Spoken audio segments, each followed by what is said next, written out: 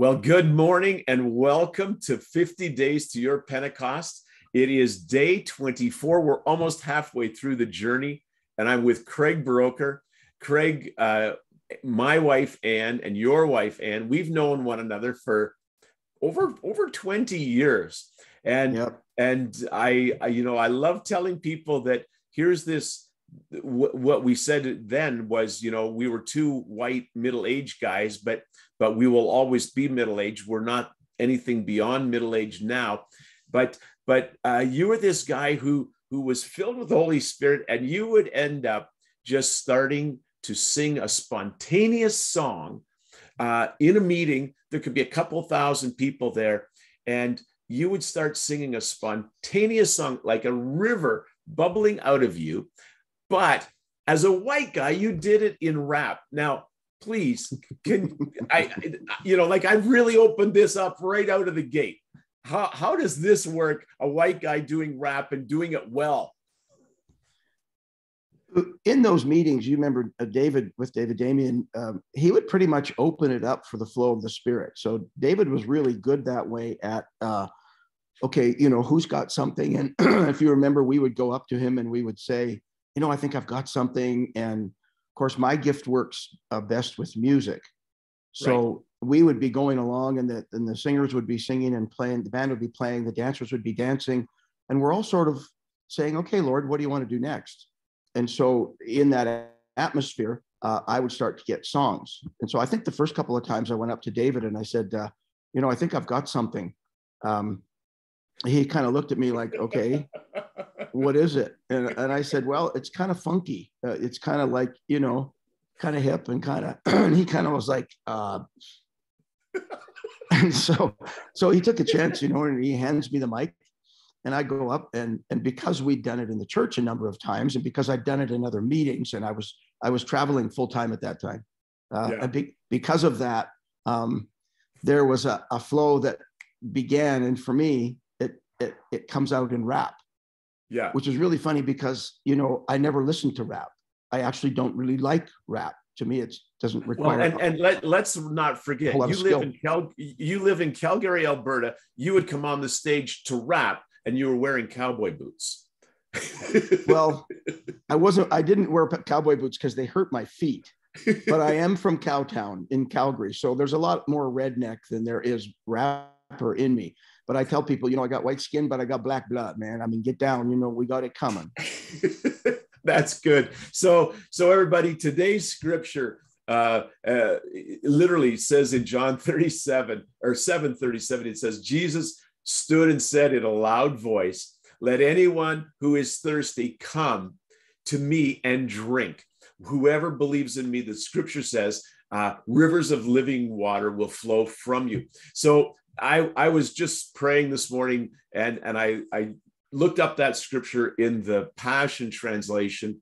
And Craig and I both jumped immediately because we're, it's one of our favorite translations these days. But just listen to what this says in the Passion Translation Believe in me so that rivers of living water will burst out from within you flowing from your innermost being, like the scripture says. Jesus was prophesying about the Holy Spirit that believers were being prepared to receive. Craig, these days, these 50 days of toward your Pentecost, these are the days of preparation. These are the days where this increase of the bursting forth of Holy Spirit uh, is upon us. Now, uh, I started right out of the gate with you uh, singing these spontaneous songs that would just rise up in you as Holy Spirit would be moving. But but life wasn't always like that. You you you know your your growing up days. You you grew up in church, but then you know sort of moved away from that. And why don't you just tell us? Give us give us the thumbnail sketch of of Craig and and meeting Anne and all of that. Sure yeah, I grew up in Calgary. Uh, my family, we went to a little evangelical church. Uh, I'm the last of four children. Um, my parents got divorced when I was about 12 or 13, which in our little church, you know, divorce was kind of like the unpardonable sin. They didn't really know what to do. My parents were leaders in the church. My mom was the piano player. And um, my dad was uh, a guitar player. Yeah. And there was only probably six people that, that were involved in the band in the, the whole church. You know, back in those days, you just had basically an organ or a piano, Yeah. which is what my mom played. Um, and dad would do specials with his guitar once in a while. So when they got divorced, we were, you know, we left the church, which was fine with me because I didn't have to dress up in those horrible tight clothes with a tie on every week. At 13 years of age, I got to go out and play with my friends in How, teen how years. old are you, Craig? Old enough to, to have been doing this for remember that. yeah yeah. So anyways uh, uh, you know and i was on the other side of the world. I was traveling in europe uh, with a buddy of mine. Uh, i was a good canadian heathen. I had hair down to the middle of my back. Um, you know i was into all the things that booze and girls and drugs and everything else and uh, loved to travel. So we were traveling. While we were traveling i was staying uh, with a uh, cousins. Cousins were missionaries. They said okay you can stay with us for free but you have to go to church and Right. I was like, oh, no problem. I've been to church. Well, I was at that church one Sunday in the back of this little church, the guy speaking Spanish. And uh, so I just suddenly the Lord convicted me, which I didn't know that's what it was. Uh, and I just said, I said, God, if you're really there, whatever's supposed to happen in my life, here I am. So Oh, whatever you want to do, do it. And, and I actually finished by by saying, if nothing happens, I'll never pray again. And it wasn't arrogant, and it wasn't, you know, I just I just was like, okay, what do we do now? mm, Uh, and so my buddy and I split up. Uh, I remember going over to Italy and I had started reading the Bible because my cousins gave me a Bible. And for the first time in my life, it was coming alive. I remember laying down one night, starting to read. I thought, well, I'll read for 15 minutes before I go to sleep. And uh, uh, three hours later, I looked over at the clock and I was like, what just happened? I've been reading for because it was coming alive. So God began to get me. Uh, but then jumping ahead a little bit to maybe what's a little bit more relevant to what we're talking about here, I, I uh, ended up in Athens in Greece. And on the way over in the ferry, my Bible, uh, my little bag that I had the Bible in got stolen. So I had to go get a new Bible. So I looked on the, the youth hostel and there was a little card that said Crossroads Christian Center. So I went over there and it was a little uh, church. Uh, it was an American expat who was there and he invited me to come back to the service on Sunday. Well, I went back there and it was a Pentecostal church, scared the bejabbers out of me because I went into the church and I'm sitting halfway back and everybody comes in and fills in the room. And the pastor says, Well, why don't we stand together and let's all pray? Well, I'm a good Baptist, right? So I bowed my head like this. And all these people around me start going, and I thought, Oh my God, it's a cult, it's a cult, it's a cult. It scared me. I was like, What's going But I couldn't get out because there was this big black lady right beside me. And I thought, man, if I if I if I try and say, excuse me, she goes, sit down, boy. I mean, I just so I so was- it sounds I like was Je- stuck. it sounds like Jehovah sneaky to me. It was totally Jehovah sneaky. They had a special speaker that week. He had an uh, altar call for people to get filled with the Holy Spirit. I did not go up in the altar call. I was standing in my chair, but the Holy Spirit came on me. I started to cry. When the pastor and the special speaker saw that this new guy was crying, and you got to remember, I'm scraggy looking. I got holes in my jeans, and that's back when you didn't pay for the holes. That's when they Right. were old, right? they came over and they laid hands on me and they just started and I felt something coming up on the inside. And it was literally, I could feel it coming up closer and closer to my mouth. And I was like, whoa, what's happening? And then out of my mouth goes, and I and I knew about that because I'd heard my mom say that she'd experienced that. wow. But it was funny was then they both said, Glory to God, he got it. And they walked away. And I'm like, what did you just do to me? What did I, I am with this thing coming out, and I don't even know what to do with it. But That was is my exactly, introduction. This is exactly what we just read. Believe in me so that rivers of Yeah. life. Oh, it was a mm-hmm. river. It, it was like, yeah. The pastor was very good because he sat with me afterwards. He said, Now let me tell you what happened to you tonight. And he gave me three or four scriptures and he said this. He said, that th- These thoughts are going to come to your mind. He said, You're going to wake up in the morning and these thoughts are going to come to your mind. Oh, what an idiot I made of myself. Oh, I was making all of that up. Oh, what was I doing? And he gave me the best advice. And I've given this advice to hundreds of people since. He gave me three scriptures and he said, When that happens, he said, You open your Bible and you look at these scriptures and you read out, and one of them was John 7. You read out, out of your belly shall flow rivers of living water, but this spake he of the Holy Spirit. Wow. And, it, and, and I woke up in the morning. The first thought that came to me was, oh, what an idiot I made of myself. And then the second thought was, wait a minute, the pastor talked about this. And going right back to the Bible. And then he gave me First Corinthians 14 that, it, you know, he that speaks in an unknown tongue speaks not unto men, but unto God. Yes. And I just took, read those, the other scripture, the three scriptures out. And I said, no, I believe what happened was God. I don't care what I feel like or what I think. And that was my, the beginning of my journey, my own Pentecost, where I experienced something that changed, radically changed me. Now, it, it you know two two things that I just I, I, I want to touch on. First of all, did you notice that when you quoted the scripture that the pastor gave you, you went back to King James, and and it was beautiful. It had rhyme with it. But but you know, secondly, did this happen for you in the 1970s? When did it happen? 1981. Okay, all right. You know, there was a there was a period of time around the world where this outpouring was taking place mm. in the most unusual and unexpected locations. And there was a grace uh, right across the, the denominational spectrum where Holy Spirit was just falling on people. Yeah. And they were being filled, and this river of life, rivers of life were just bursting out of them they weren't they weren't the trained pastors necessarily they were people like you you know hitchhiking around spain they were people like me uh, i ended up hitchhiking from ontario out to, to alberta God was just filling people. And I want to suggest to those watching, we're telling an old story for our lives, but but that story is a faithful story. It's a it's a story of of ever present being filled. Craig, you, you're not yeah. just describing what happened when you were in Europe.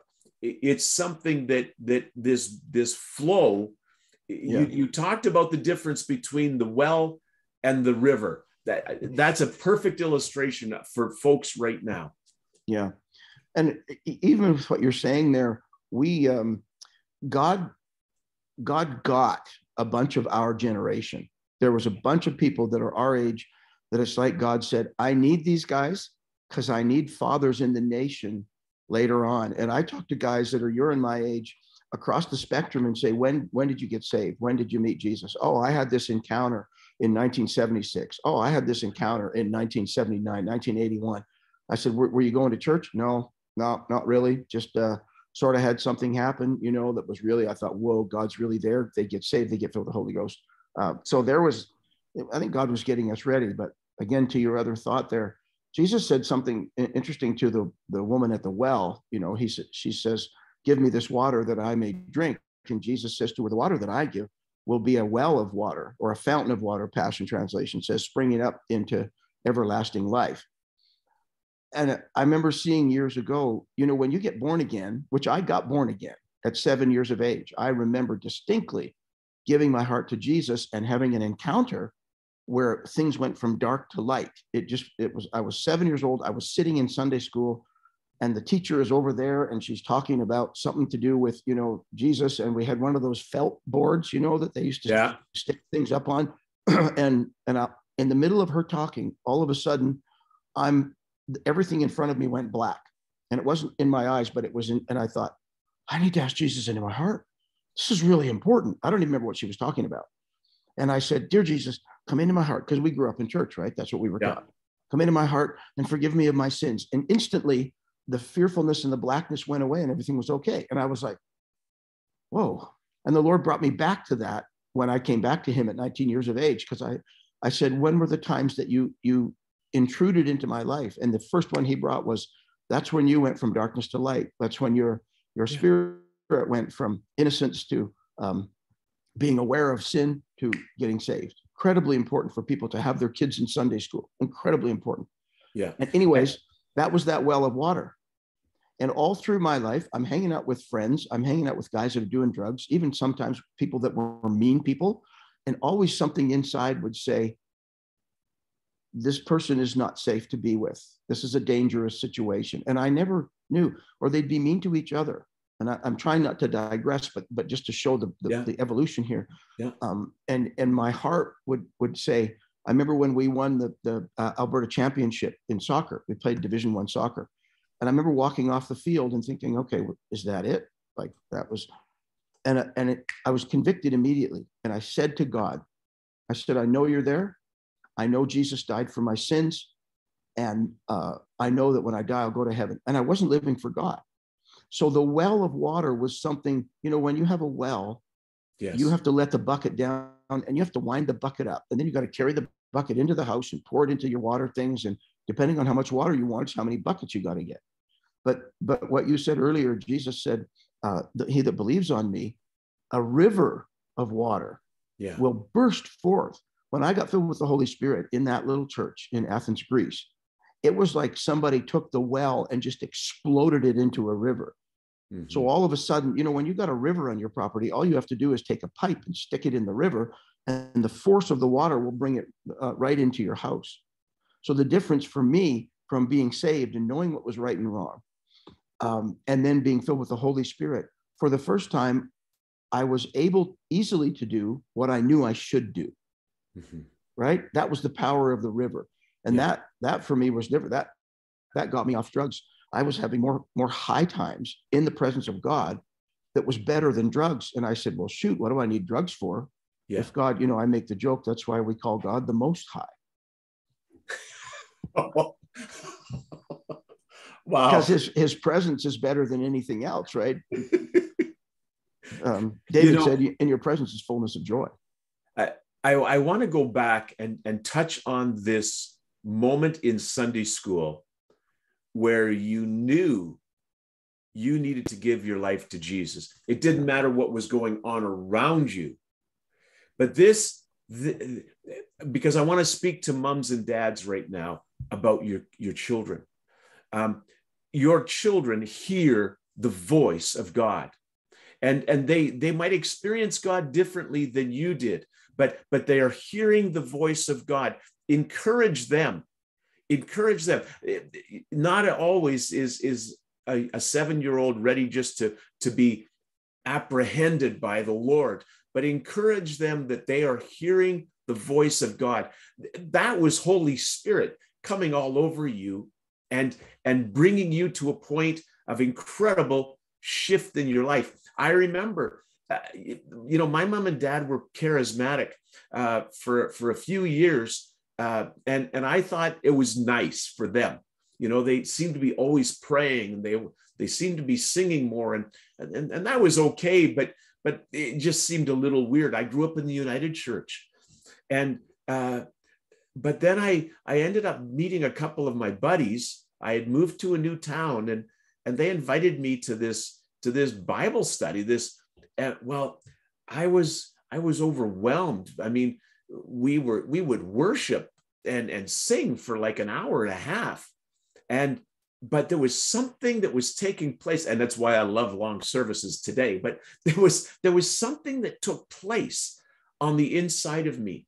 And and for me there was no nobody laid a hand on me nobody did anything in the process of me being filled with holy spirit. I was actually sitting in the back seat of a you won't some of you won't even know what this is but a datsun b210 right? 1977 god literally apprehends my heart.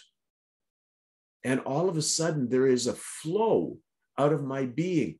Now the way craig and i are describing it isn't the way that you will necessarily experience it. And and we want to be very clear. Father is unlimited in how he will bring the fullness of his spirit to you. But in these days, as we are pushing toward a fuller life of spirit led, spirit followed, spirit empowered lives, I want you to know that, that the fire hose of God is, is waiting, waiting to be plugged in, is waiting to be uh, let loose in you.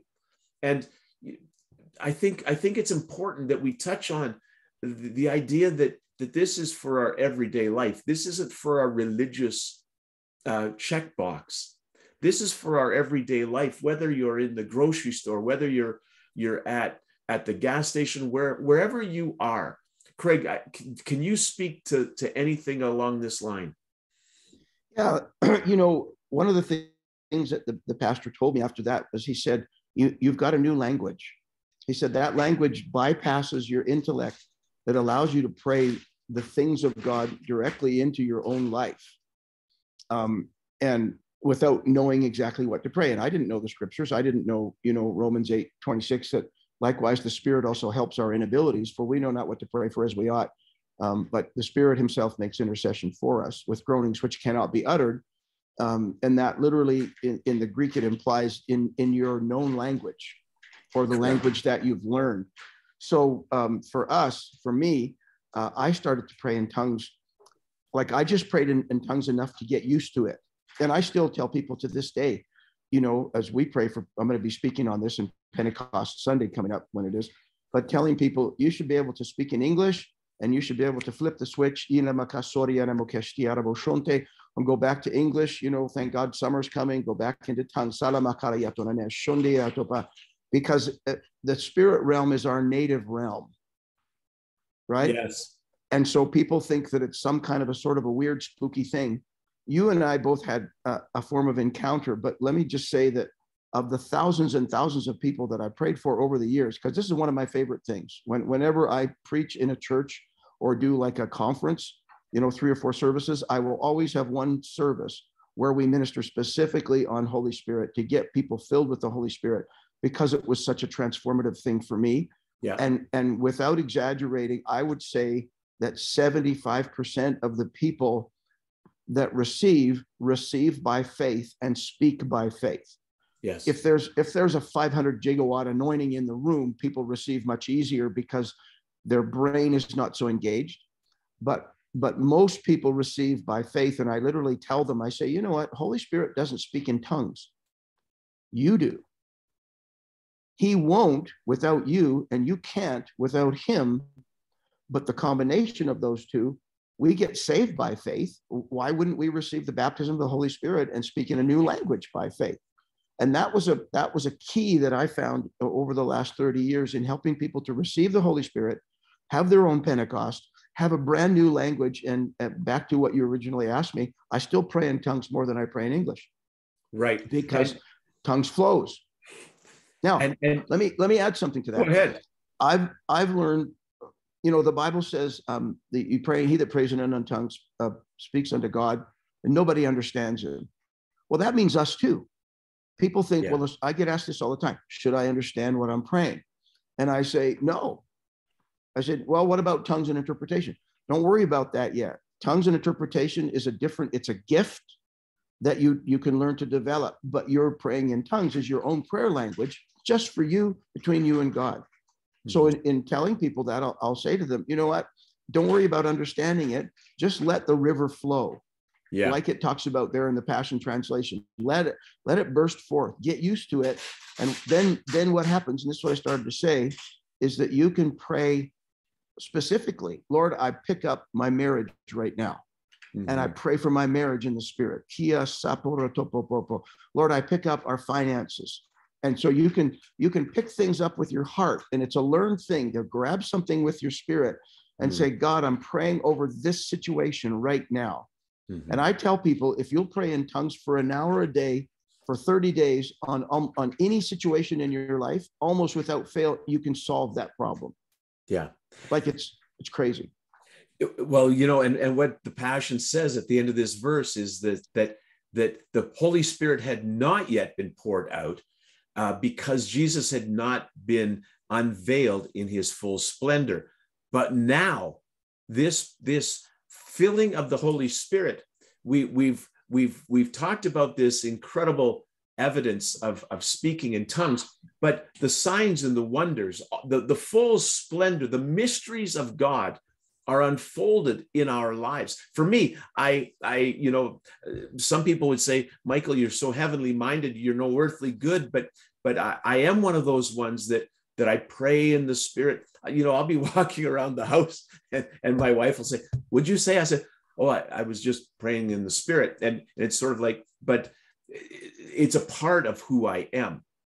And and it can be a part of who you are. It's not something that you just put on when you're getting ready to be a part of a service, but but let it flow. It is it is a a river that is flowing through you. And yeah. for some, for some, you might not have experienced that before. And and as we're you know we're getting closer to to the end of of our time together, Craig, I want us just to pray that the flow of Holy Spirit, this this living water, would burst, would burst the dams. You know, for some, they've got they've got apprehension, they've got they've got questions.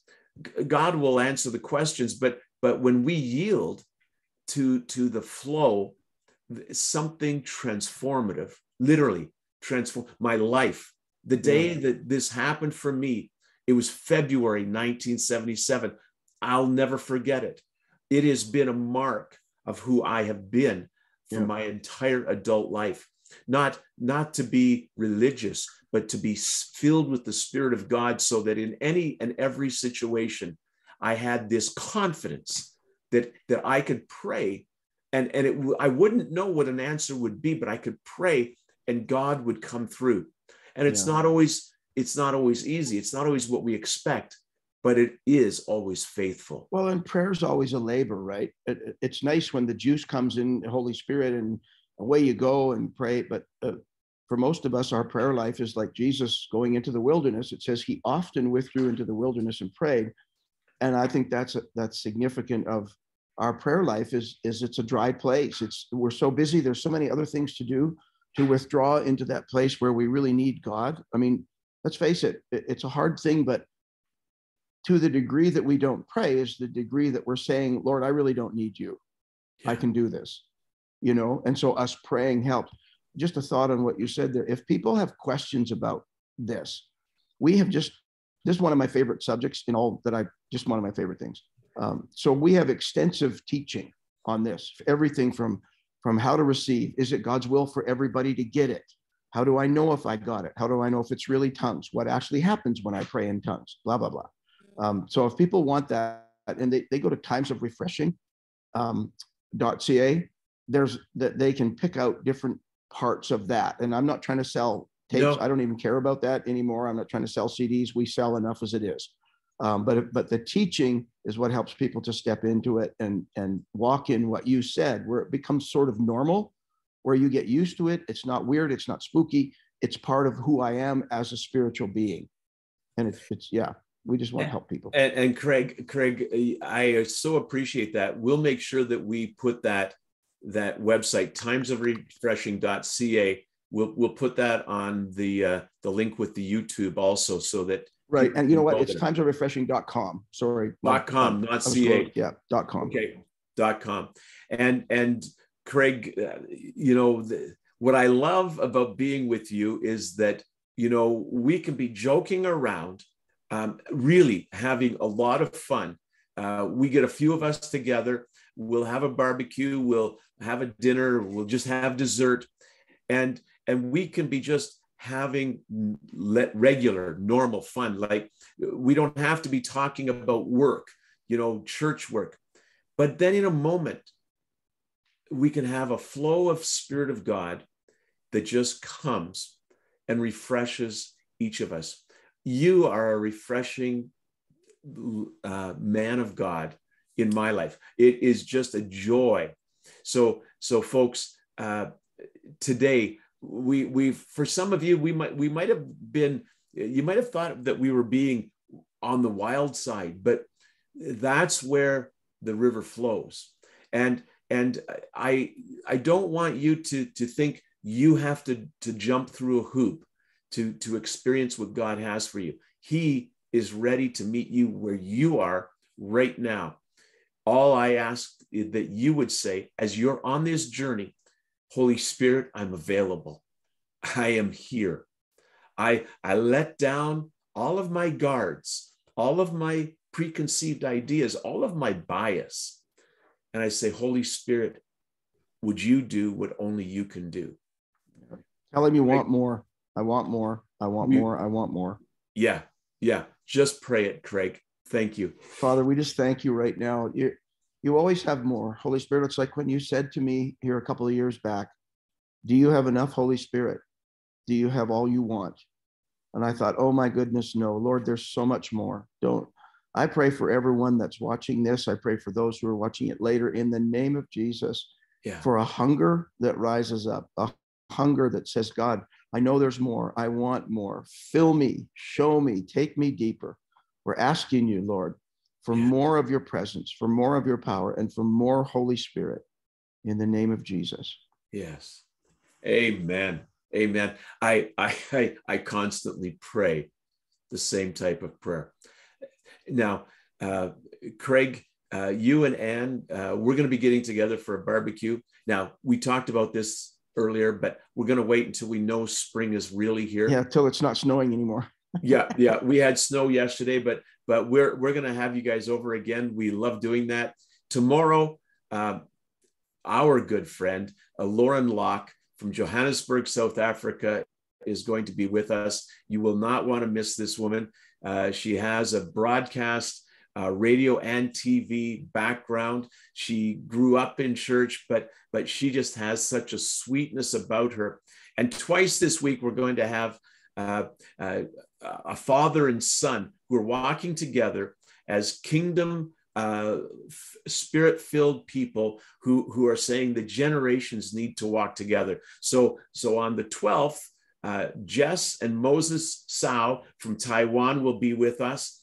And then on, on Saturday, uh, Papa Gideon Chu and his son Caleb, who are from Vancouver, originally from Hong Kong, they will be with us. They're going to be just sharing how we walk together as the generations. Craig, you and your your boys, your daughter, you walk together. You're you're serving together. You do life together.